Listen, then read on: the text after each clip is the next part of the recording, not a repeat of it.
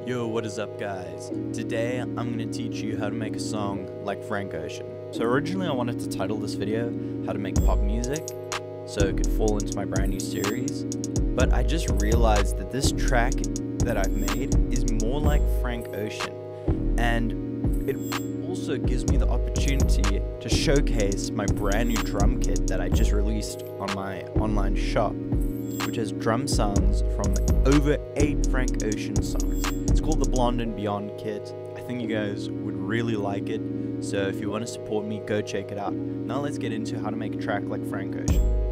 So, in a lot of Frank Ocean tracks, you'll hear either a Rhodes or a Wurlitzer.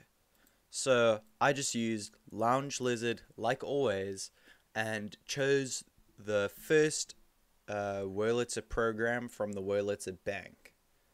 And I played out these chords. Here's how they sound dry.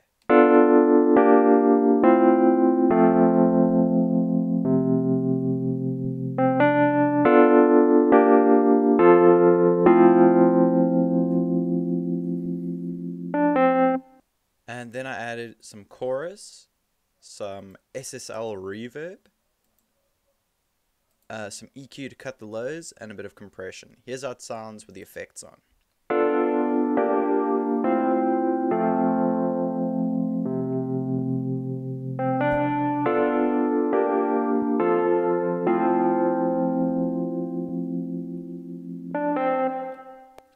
I just think these effects make it sound more washed out and more vintage, which is more like Frank Ocean's style.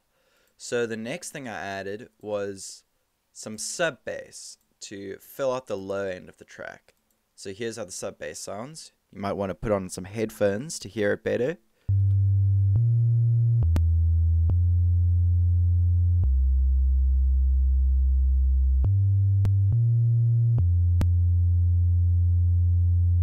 And here's how it sounds with the chords.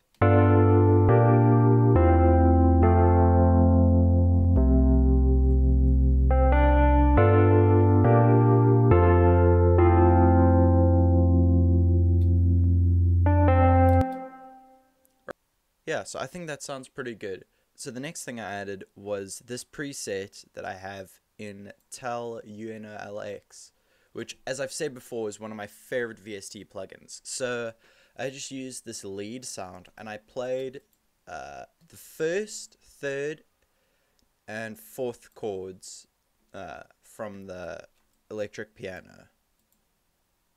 So here's how the synth sounds.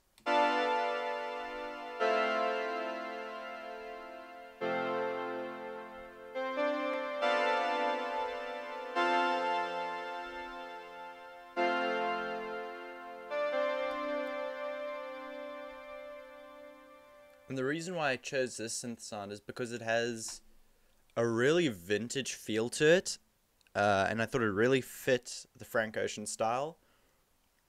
And it just had like a nice long decay.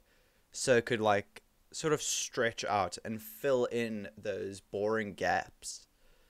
And on top of that, I added some more SSL reverb. So yeah, here's how all these layers sound together.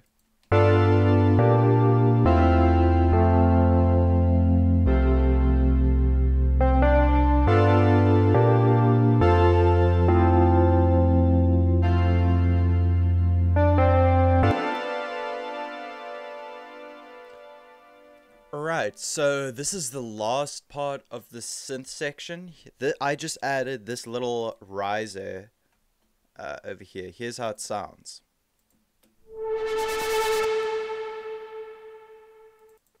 And on top of that, I just added some reverb and I increased the decay so it would just flow nicely. So here's how it sounds in conjunction with the rest of the sounds.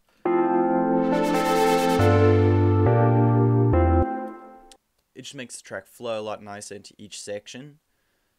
Uh, so now, onto the drums. So, I used my brand new Blonde and Beyond kit uh, to make these drums, and I used the kick drum from In My Room, the Futura Free snare, the Nike's hi hat, and the In My Room percussion sound to make these drums.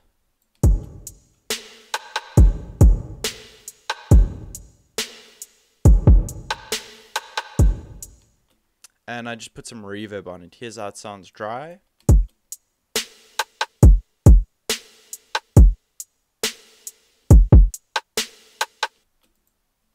Alright, and now let's listen to the whole track.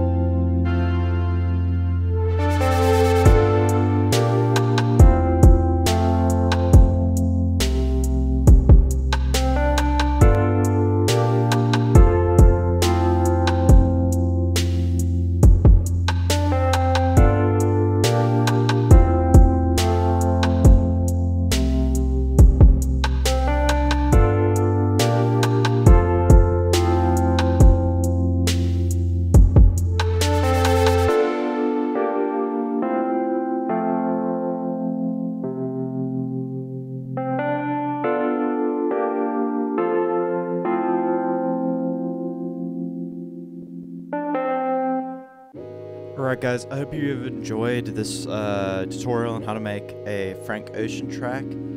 Uh, if you'd like to see more videos like this, please leave a comment. If you'd like to support me, uh, please buy the drum kit that I used to make this track. Uh, if you liked the video, give it a like. Uh, if you really liked it, please subscribe. And yeah, that's it from me.